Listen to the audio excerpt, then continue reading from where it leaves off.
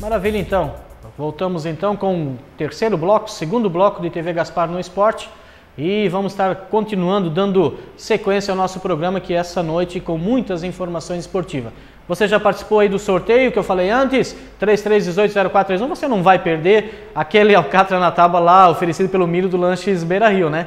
Liga, liga já 33180431 e participe. Além do alcatra na tábua, também dois ingressos para a estreia do Timbal Rex no Campeonato Brasileiro de Futebol Americano e também uma camisa da Sociedade Tamandaré. Sociedade Tamandaré que participa aí da Copa Kaiser de Futebol 2012 que esteve de folga nesse último final de semana em função aí da participação da equipe do Vera Cruz Passo Manso, que seria seu adversário na final do campeonato de Pomerode, que inclusive era a equipe que o Casão participava até pouco tempo, até alguns anos atrás, e que se tornou campeã do Casão, que também já foi campeão lá no Veracruz no Campeonato Pomerode. Eu quero lembrar você, empresário, desportista, ou você que queira é, destacar a sua empresa no melhor programa de esportes online de Gaspar, é só dar uma ligada também no 3318-0431 no horário comercial. E se você quiser fazer algum tipo de propaganda no TV Gaspar no Esportes, o, microfone, o telefone está aberto né? O telefone é a partir de amanhã no horário comercial e você conversa aqui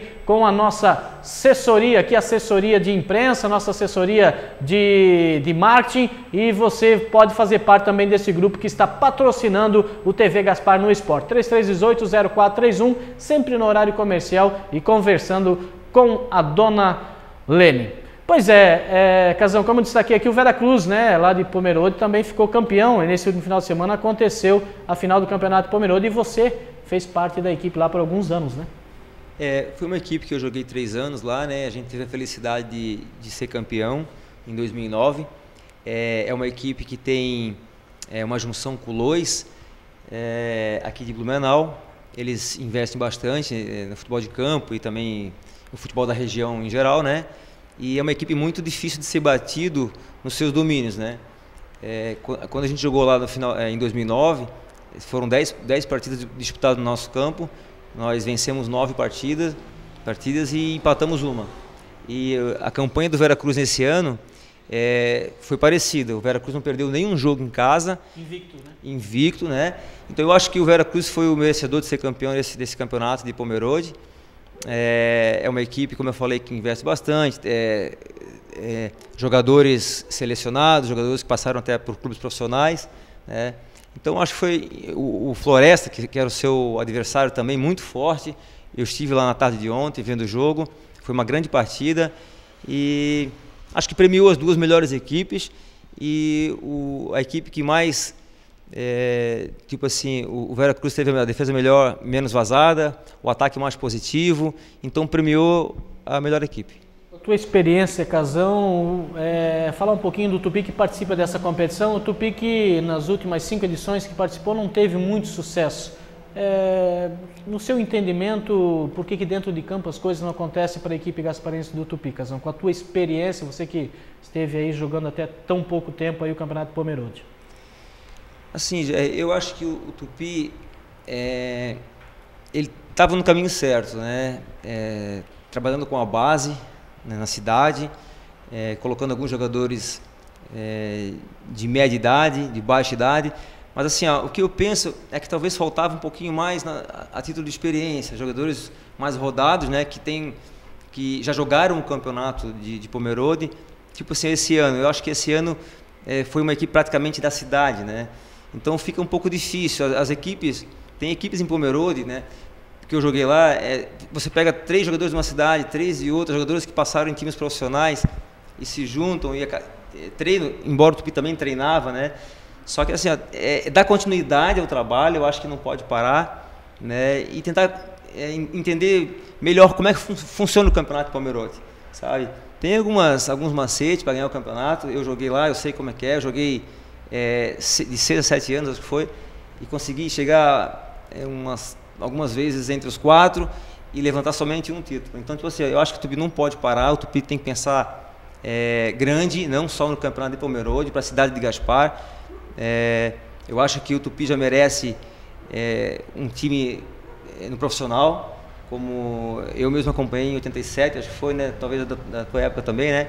Nós tínhamos uma equipe, nós jogamos até contra o Figueirense, Entendeu? Então, por que que Tupi teve essa decadência de lá para cá, nunca mais voltamos para pro profissional. É, não era ninguém, né, Casão? Era Tupi, Figueirense, era Aranguá, Blumenau, quer dizer, era um campeonato Exatamente. Forte, né? é, eu lembro que o Tupi é, venceu em casa aqui é, o Beck, que no ano seguinte se não me falha a memória, foi, campeão. foi, foi o vice-campeão do estado, presidente do Havaí. Foi então, vice-campeão do estado e naquele ano campeão catarinense segunda divisão, que e, perdeu a final no Orlando Scarpelli para o Figueirense. Exato, e o Tupi venceu o, o, o Beck, o menor esporte clube na época. Então, tipo assim, ó, teria, eu acho que para a cidade de Gaspar teria que voltar esses, essa glória do futebol, entendeu?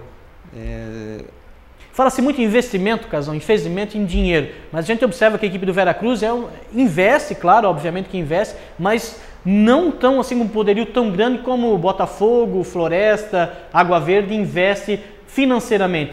O que vê na equipe do Veracruz, que foi campeão esse ano, foi uma equipe que existe uma espinha dorsal já de muitos anos lá com o trabalho do Gerson, me corrija se eu estou errado, e outras pessoas que estão lá na equipe do, do Veracruz. Quer dizer, existe uma espinha dorsal desde a, a diretoria, comissão técnica e jogadores. Eu acho que isso que mantém e que faz com que a equipe brigue por títulos todos os anos. É uma equipe que, que joga muito tempo junto, tá? Eles é, disputam vários campeonatos, os mesmos jogadores que jogam futebol de campo, alguns participam do futebol de salão, do, do, do é, futebol suíço, como a gente chama também, né? Então, realmente, ele, eles têm uma espinha dorsal, eles têm aquela base, aqueles jogadores que, que sempre acompanham acompanham o, o, o Lois, né? Que, faz, que hoje se juntaram é, com o Vera Cruz, né? Então, é uma equipe é, difícil de ser batido em qualquer é, modalidade do futebol que eles disputam. Aproveitar a participação do Zonta também, Zonta. Vamos voltar para a equipe do Ciro, vamos, porque senão a nossa conversa ela, ela sai do foco, né? E é muito bom essa, essa integração. E a gente, todos os programas, a gente traz um convidado é, diferente e a gente acaba falando de diversas coisas, a gente acaba saindo até do foco. Mas você que já foi atleta do Clube Atlético Tupi, hoje joga amador com a, com a patota do Ciro, é, você sente que que a equipe do Tupi poderia estar disputando também uma divisão de profissional, até mesmo a terceira divisão que ficou prometido para esse ano, infelizmente não vai acontecer de novo, Zonta? É, tá faltando de novo, né? Como em 2001, ainda quando eu estava no Tupi, nas categorias de base, eles disputaram o profissional. Esse ano até foi falado que iam, mas não deu certo. Vamos ver o ano que vem. Estão numa base boa agora, trouxeram jogadores que já jogaram profissional também, como o Olinger, o Ferrugem, tem a experiência do Rossetti. Tinha, são jogadores já do que já jogaram profissional e sabem como é o futebol, né? Eles estão no caminho certo, vamos ver se o ano que vem para Pomerode mantém esse time e ver a, a divisão de acesso, né? No Campeonato Municipal do ano passado, a equipe do Ciro era é, não era nem apontada como favorito. Tinha tradição, tinha camisa, tinha o título de tricampeonato, mas que há muito tempo não chegava. De repente, da, ao amanhecer, a equipe do Ciro estava na final e era campeão. Esse ano no Campeonato Patotas eu acho que é um campeonato mais forte tecnicamente que o Campeonato Municipal. A equipe do Ciro também tropeçou bastante na primeira fase e acabou conquistando o título. Qual que é o diferencial que faz com que essa equipe, quando chega, chega e chega e é campeão? Rogério, ano passado no, no Municipal, nós na primeira fase, nós se classificamos por um cartão. Depois daquilo ali, nós fechamos o grupo. Teve jogador que não aceitou tipo, a reserva. Como no Suíço não tem reserva, né? Todo mundo joga todo mundo fica no banco, é uma equipe, né? Depois daquilo ali, o pessoal que não quis saiu e nós fechamos o grupo, onde que nós, a nossa força prevaleceu e nós ia derrubando os adversários até a final. E esse ano se manteve, não. Trouxemos dois jogadores três de novo, mas manteve, mantivemos a base do ano passado, onde que conseguimos ganhar mais um título. Vocês entendem também que essa competição Patotas ele é mais forte até que o Municipal, Zonta? Existe esse entendimento entre vocês, vocês que estão sempre ali ligados é, com as é. outras equipes também? É mais forte, porque são 12 equipes, né? No Municipal são 30, 36, e essas equipes que não de, de 36 para 12, elas se juntam com outras equipes e se formam mais forte ainda, né?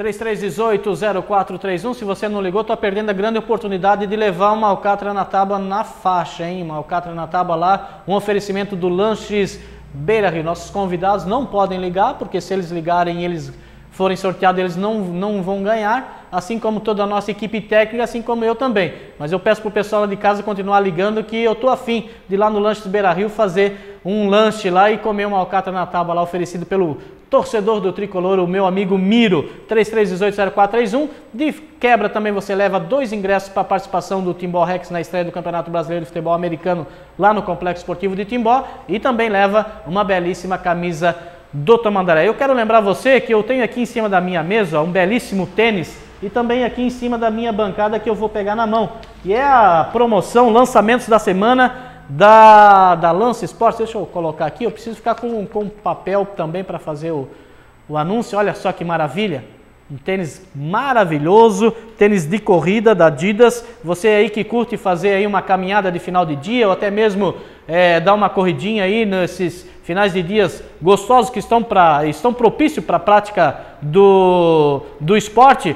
Tênis de passeio ou tênis de corrida marca Adidas da Nike e tênis Nike Mercurial Futsal. Você que participa de uma equipe de futsal está aqui na mesa, ó, maravilhoso tênis futsal. E esse tênis é usado pelas equipes que disputam, pelos jogadores da Liga Futsal, hein? Os melhores jogadores do mundo usam esse tênis da Nike, que é o tênis Nike Mercurial Futsal, o mais usado pelos atletas da Liga Futsal do Brasil. E você continue ligando, 3318-0431 e não perca a oportunidade de ganhar um filé na, um filé na tábua lá, um oferecimento do Lanches Beira Rio.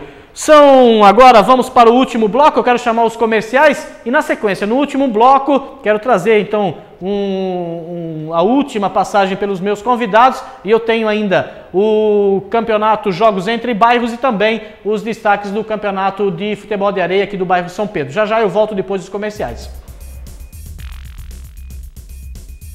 Lance Esportes, tudo o que você precisa em artigos esportivos, na Coronel Arciliano Ramos no centro. Telefone 3397 1192. Bebidas Melato, refrigerantes, cervejas e gelo, vendas em atacado e varejo. Trabalhamos com diversas marcas de bebidas. Telefone 33320858, na Rua Maestro Leão Gombom, no bairro Coloninha. Atendemos também eventos. Lanches Beira Rio. Lanches, petiscos e frutos do mar, na rua Coronel Aristiliano Ramos, no centro. Telefone 3332 2614. Churrascaria Tony. Almoço todos os dias, inclusive aos domingos, com espeto corrido e buffet variado. Fazemos também a reserva para o seu evento na BR-470, quilômetro 33, na margem esquerda. Telefone 3332 1469. Centro Empresarial Atitude, prédio empresarial de alto padrão em Gaspar, na rua São José, no centro. Telefone 3332 8788.